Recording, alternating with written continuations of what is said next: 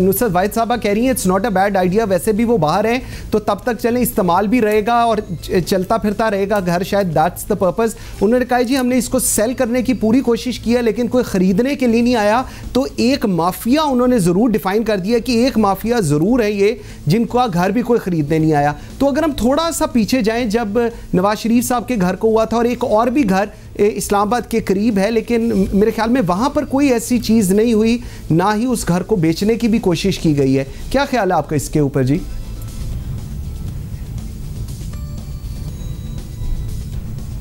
जी, बिस्मिल्लाहिर्रहमानिर्रहीम। Thank you Mansoor सबसे पहली बात तो मैं नुसरत साहबा से ये पूछना चाहूँगी आपके प्रोग्राम के तवस्त से कि माफिया की डेफिनेशन क्या है और पनागाह की डेफिनेशन क्या है?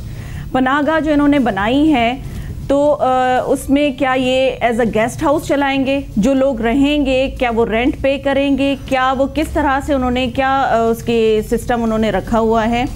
और दूसरी बात ये माफिया की बात कर रही हैं तो माफिया तो मुझे लगता है कि आधे से ज़्यादा इनकी कैबिनेट में और एटीएम्स में है।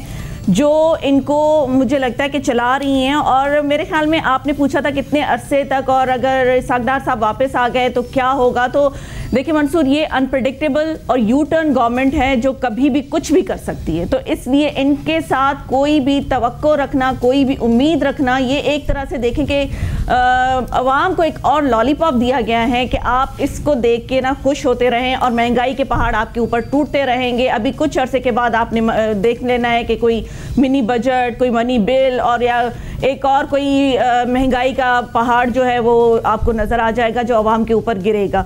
और दूसरी बात में आपके प्रोग्राम के तवसत से जो इन्होंने सबसे बड़ी चीज़ जो की है, बेनज़ीर इनकम सपोर्ट प्रोग्राम से जो बेनज़ीर भुट्टो साहिबा का जो इंटरनेशनल लीडर हैं जिनको बाहर के लोगों में एडमायर किया जाता है उनके नाम पे लाइब्रेरी उनके नाम पे रोड्स उनके नाम पे पार्क्स का नाम रखा जाता है। ये इतनी इनसिक्योर गवर्नमेंट है कि इन्होंने बेनज़ीर इनकम सपोर्ट से बेनज़ीर भुट्टो साहिबा का नाम जो इस प्रोग्राम की जिस जिनके नाम पे ये प्रोग्राम स्टार्ट किया गया था उससे उनका नाम हटा दिया गया है। तो फिर ये फिर फिर ये फिर ये इस बात को भी करें कि जो शौकत खानम हॉस्पिटल है उससे भी फिर वो अपना नाम हटाए क्योंकि वो तो चंदे पे हॉस्पिटल चलने वाला है उस पर भी किसी नेशनल हीरो का नाम